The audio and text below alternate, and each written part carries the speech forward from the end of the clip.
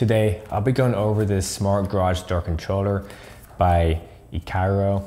In the box, we have a manual, the unit itself, some mounting hardware, and more mounting hardware for the sensor.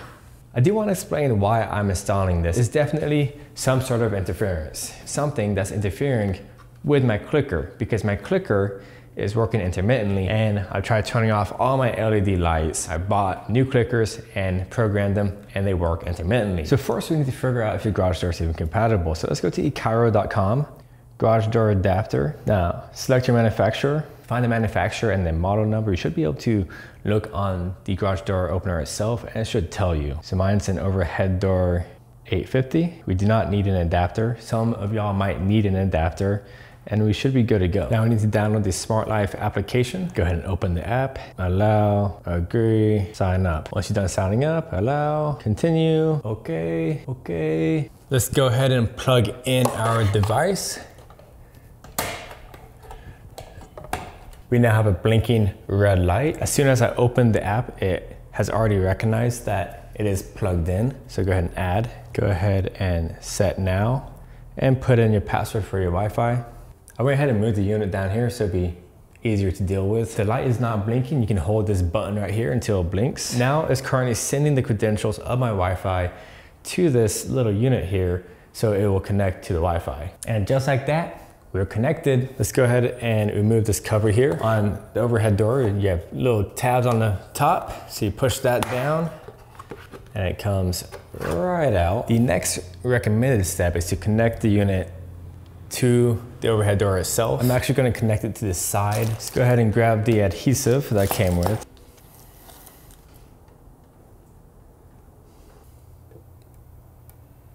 The next step is to figure out where these wires are gonna go. To do that, you need some sort of jump wire. Now, what I did, I went from each one, try to connect it until finally the garage door open. The two wires that open up my garage door is these two end ones right here.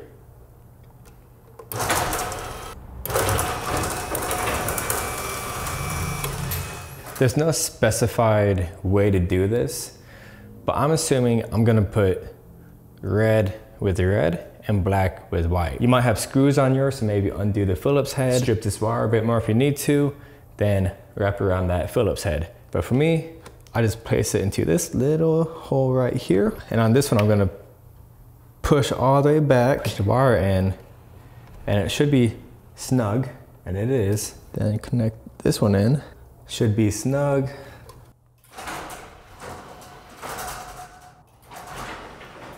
Hold up, we're not done yet. We have a bit more mounting to do. We have this sensor that'll let you know in the app whether or not your garage door is shut or open, which is actually pretty cool. So let's do that. Which connects to this guy, which I just got notifications that is telling me that my garage door is open. It's closed,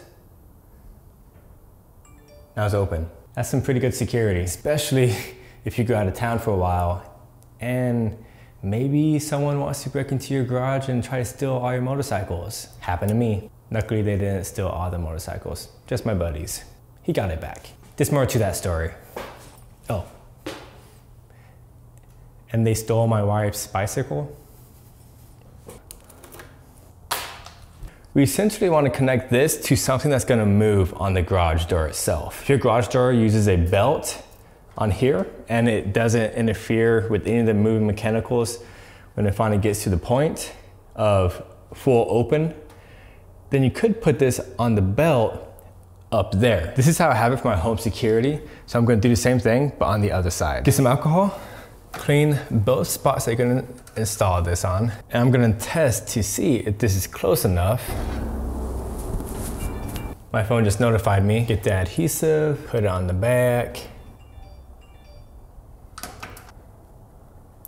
Now, I'm just gonna pull this wire tight over there. Gonna grab the uh, the tie it came with and tie it up. I'm actually just gonna connect it right here. Hidden kind of out of the way. I'm now going to come back over here, grab it tight, and tie it right back here. So it would hopefully never interfere with the door. As you can see, it's sagging still. So I'm gonna put the wire on top And I'm gonna move this mounting spot that I have placed, put it around here and move it back. Two more zip ties just to keep it in place. And these zip ties did come with the, uh, the, the package. Let's see if it works and doesn't interfere with anything. It's definitely clicking, but it's not opening. Ah, oh, the red wire came out. All the tugging I just did. Let's try that again. So it worked with no interference, but now it's saying the garage door is open. Not open. That has to mean this sensor is not connecting properly. Oh, you know what it is? Opening. Closed. The sensor was just a bit too far.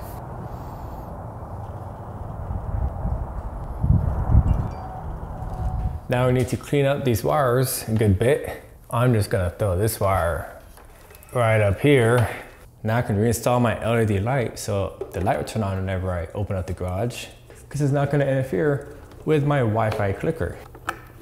So it says it's been closed and it has an issue, but I'm getting the notification. I guess the app kind of gets confused when you open it, stop it, then close it.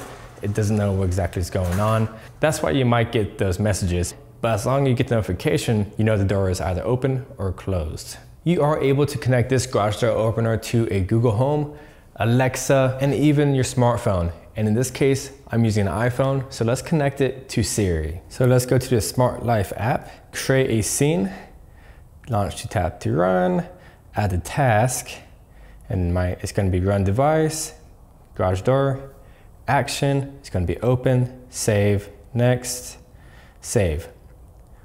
Let's add another scene run the device, garage door, and action, and it's gonna be closed. Let's save that, next, and save. So now we have two scenes, and each one will either open the garage door, then we can close it. Now we can add this to Siri. Add to Siri, bottom right, garage door action close. Hey Siri, close the garage door. Done. Hey Siri, Open the garage door. Done. Hey Siri, close the garage door. Okay, done. Oh, but we're not done. We can now slide to the left, slide all the way down, edit, customize. Let's add Smart Life tap to run shortcuts. There you go, done. And now you just slide left, scroll down, and you can open or close the garage door. We live in a crazy age. We have computers or AIs that we can tell to do things, like close the garage door. Crazy. If you want to check out this product, then I'll link it down below in the description. And that'd be one way to support this channel and help me keep coming out with these videos. I am personally so happy I got this. I am so tired of click, click, click, click, click, click, click, click, click, waiting for the garage door to open and close when I'm trying to leave and come back. yep, that's it. This is Chris AutoMotivate. I always appreciate and respect another and thank you for taking time to watch this video. I'll see you next time.